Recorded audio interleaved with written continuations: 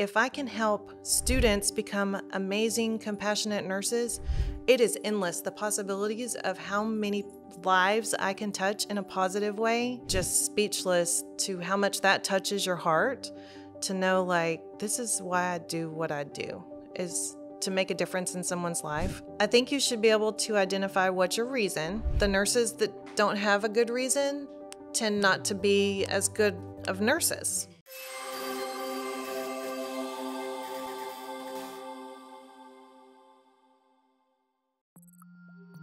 Produced by Podcast Architects. Welcome to Healthcare Calling. I'm Chelsea Reber, and today I'm joined by Shandolyn Smith. She is an adjunct clinical instructor at Blinn. Shandolyn, thank you so much for joining us today. Thanks for having me. And if you're interested in learning more about Blinn's nursing program, make sure to click the link in the description and head out to their website. So, Shandolyn, tell me a little bit about yourself and how you ended up at Blinn. Okay, so I am actually, I ended up at Blinn because this is where I went to nursing school for my associate degree. Um, I have been a nurse for about 15 years, and by trade, I'm an oncology nurse. I actually have a specialty certification in oncology nursing. Um, just recently in December, I graduated with my master's degree. So now I can be a grown up instructor at Blinn, which I absolutely love. Um, it was really amazing to get to come back here and actually teach for my alma mater. So you work at Blinn, but you also work at a hospital here in town, correct? So yeah, that's correct. So my full time job is the clinical nurse educator for um, three units at St. Joe's here in Bryan. Mm-hmm. And then um, I work part time for Blinn as a clinical adjunct instructor. So that's just once a week during the during the long semesters. Mm-hmm. What made you want to come back to Blinn as an instructor? Well, a big part of that is I didn't even realize that I had a passion for education.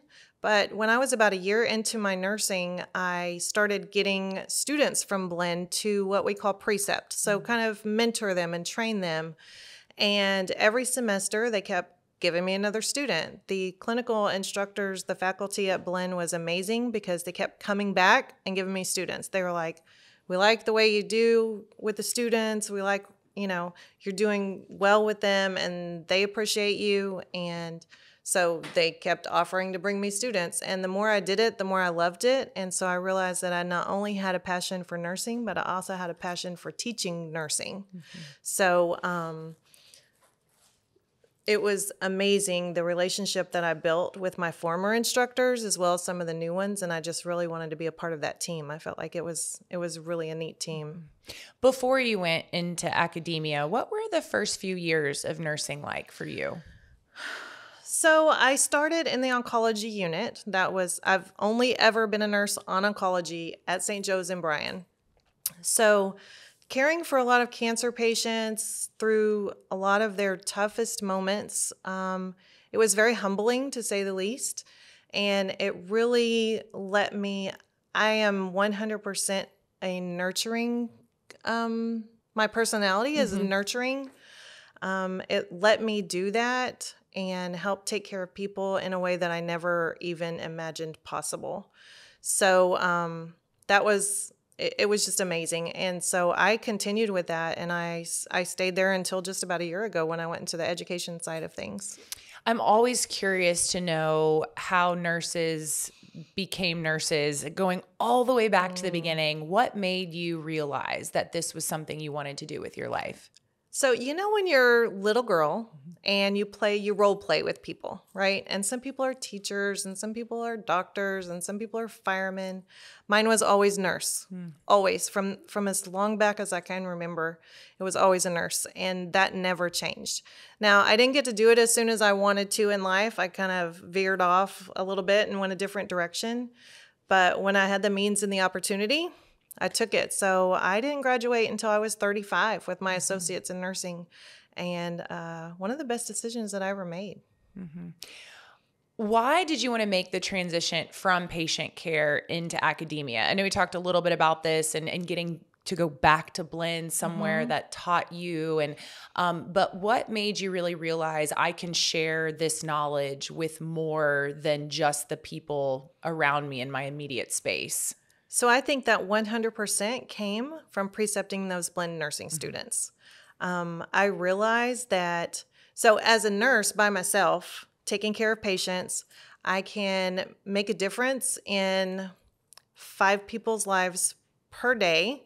And maybe the next day it's the same five, maybe it's a different five. So, through the years, that's quite a few people that I can touch.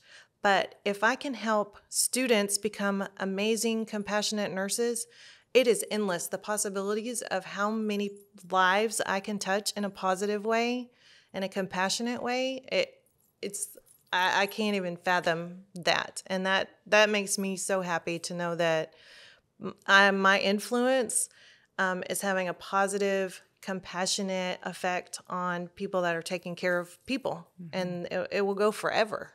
You mentioned that word compassionate. What makes a compassionate nurse?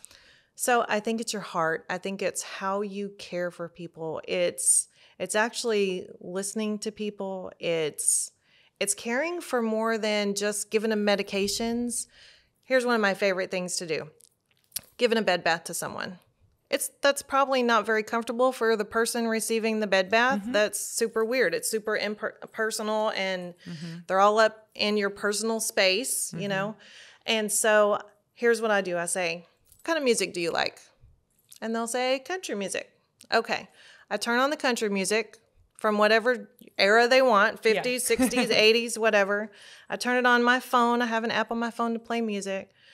We turn the music on. I sing, I dance, I do all of this stupid stuff. I make myself look like an idiot mm-hmm. with these people who are singing also while they're getting their bed bath. And by the time I leave from giving them a bed bath, they have a smile on their face. Mm-hmm. And it's not because they got a bed bath. It's because I helped raise their spirits mm-hmm. or whatever. I think compassion has a lot to do with that. You try to do what you can to try to take care of the whole person and to to just raise them if that makes sense. Absolutely.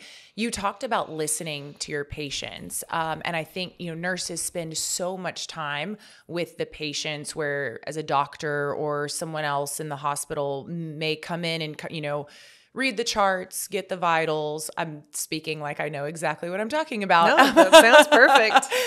So, but a, but a nurse is there for so much more time of the day. Tell me a little bit more about the importance of truly listening and how that may not be just as obvious as it sounds. Like, well, yeah, listen to what the patient says, but what that really entails and making sure that the patient understands that they're being heard.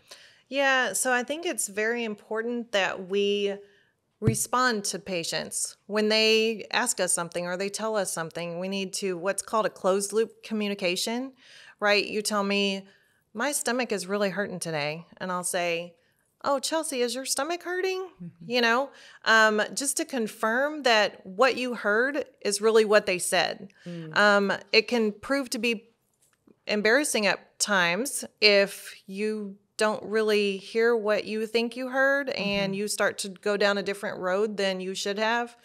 Um, I've been in a few embarrassing situations over something like that because I didn't, maybe I didn't hear them right or whatever. So I think that closed loop communication is very important. And I think that they appreciate that you um, acknowledge what what they said and they appreciate that you check to make sure that's truly what they did say. Mm-hmm.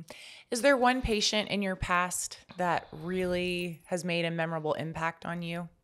So there's quite a few, but one that I can definitely, off top of my head, um, he was my very first patient. I told you I started as a student mm-hmm. in oncology. Um, he was the very first student that I cared for, and he was a brand new cancer diagnosis. And I was there when he got diagnosed. I was there through the first I think, 11 months. Um, every time he came into the hospital, I, I happened to be there and I was taking care of him. And I was there at the beginning of his journey and I was also there at the end of his journey. Um, and I, I didn't really realize what kind of impact that my care would have. Mm. But I want to say probably 10 years later, his daughter reached out to me on Facebook and she was like, I can't tell you how grateful we are for the care that you gave my dad every single time that mm. we came to the hospital.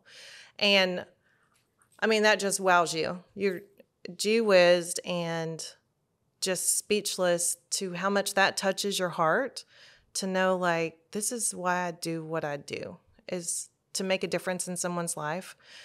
Sometimes they're not going to make it. Sometimes they are, but just to know that they they thought you took care of them, their family t- thought you took care of them. It's it's very heartwarming. Um, and I have another story about that. So, I was sitting on my couch the other day. It was Sunday, just a regular day, and I get this text message on my phone, and I'm going to read it to you. Okay. Okay. It says, Hi, Shandolyn. My name is Linda, and you won't remember me, but you cared for my husband Jim at the hospital four years ago. Four years ago. Mm. Wow, I've yeah. never heard from this lady. Okay. Did you remember though immediately who the patient was? Um, I, I have an idea. Okay. But I'm not totally sure. So, I mean, we see so many patients Of that course. some of them really stick out and some of them kind of don't. Yeah. And you wish you could remember them all. Mm-hmm. Um, it says, You were so extremely kind to give me your cell number way back then, and I happened to run across it today. It made me think of you and the extreme kindness and compassion you showed Jim and me during his time there. I wanted to thank you for the difference. I wanted to thank you for making a difference in our lives and for giving so much of yourself and your heart every single day. I want you to know that it does, all caps, does make a difference. Thanks for making the world a better place. Sweet, sweet girl. From this very grateful heart, shine on. And that was just out of nowhere. Mm. Yeah, out of the Like, blue. I just started crying. I, I, like I was, I was doing good, and then I just started crying. Yeah. That really, really touched me because I thought I only took care of her her husband for just a handful of days, Mm-hmm. and here we are, four years later, and she remembered, she remembered that. And I think Maya Angelou has a quote out there, and I'm not gonna directly quote it because I don't remember it mm-hmm. exactly, but something to the effect of, "They might not remember your name." Mm. But they'll always remember the way you made them feel. Mm-hmm. And the more stories I hear just on this podcast, you're not just impacting the patients, but the families. For sure. You know everyone around them um, and those are the people sometimes you tend to hear from just like in that case Mm-hmm. for So sure. that's incredible um, i want to move on to the program that you run every semester called progressive simulation can you tell me more about that So that's something that it's a program that's put on by the Blinn uh, simulation director and her staff and the nursing faculty. And it's very cool. What they do is they bring all of the um, the specialties together: radiology, um, EMS, um, case management, nursing. Uh, I can't think of all of them right now, but what basically what they do is they set up an ER, and it's a they have patients, they have real life people who are coming in and they have various injuries and they're coming in at various times. So we're having to triage them and get them to the right place at the right time and be sure if they need x rays, they're getting x rays done. So that's when you call in radiology and all of the different disciplines working together. And they're all students trying to figure it all out. And it is such a cool thing. Um, it's it's teaching them how to critically think through the situation. It's teaching them how to collaborate with the other disciplines that are there, and um, it's a very interactive, engaging simulation. It's so much fun to watch them just do their thing and um, get a chance to interact with those other disciplines. It's very very cool. Do you want to learn the five steps that you must take now to prevent attrition in your nursing staff? Make sure to check out the description and click the link to receive our informational sheet. Something else I'm learning about nurses is that there's not necessarily a traditional path into nursing. You've got people who start later in life, you've got people who start right out of you know, high school, mm-hmm. college, at, you know, really really young. What is your advice to somebody who's maybe considering a nursing degree and for whatever reason, they just they're not sure if they're in the right place in life to do so?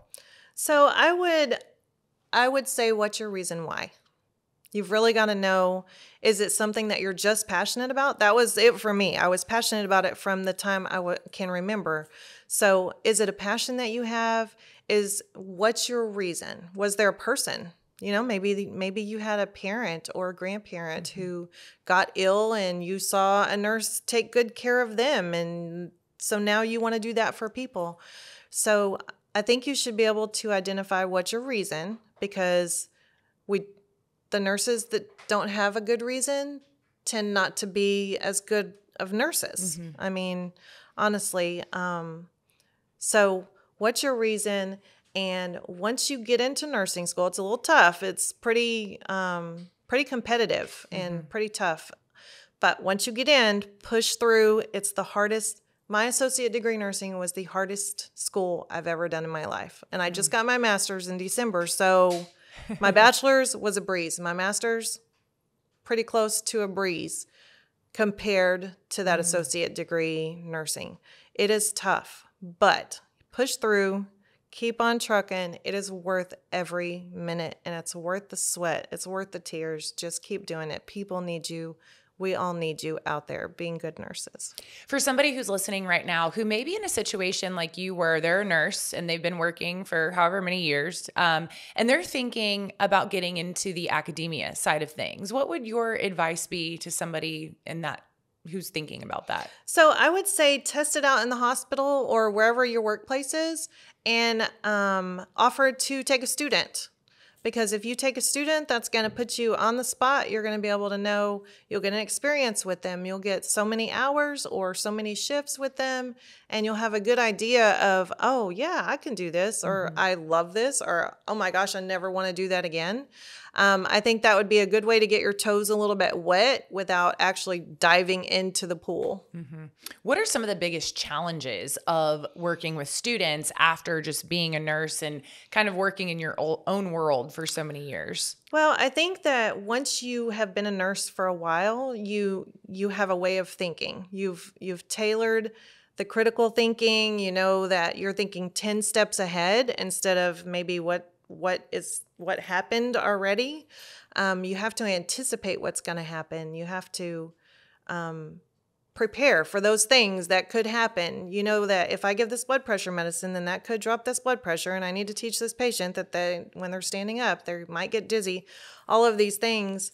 So, I think it's real important that we understand that it's much more forward thinking, and as an experienced nurse, you you get that with experience and time and just doing the things, mm-hmm. and so that is really really something that you want to just groom in these students. Mm-hmm.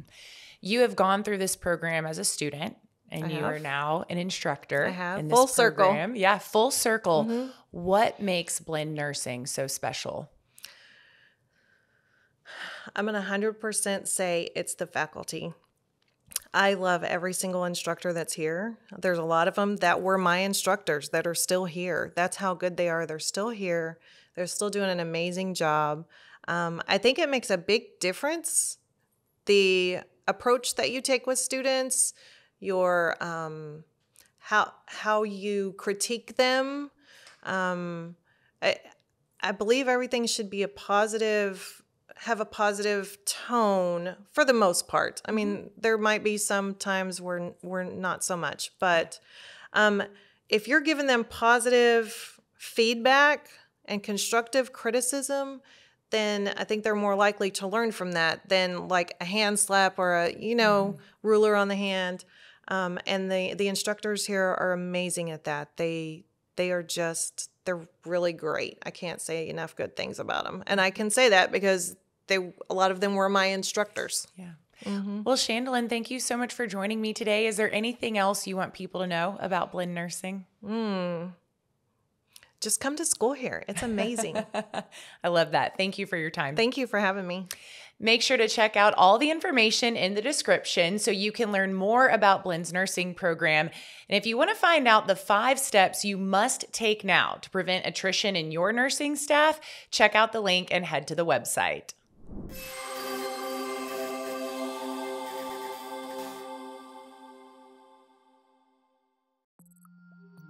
Produced by Podcast Architects.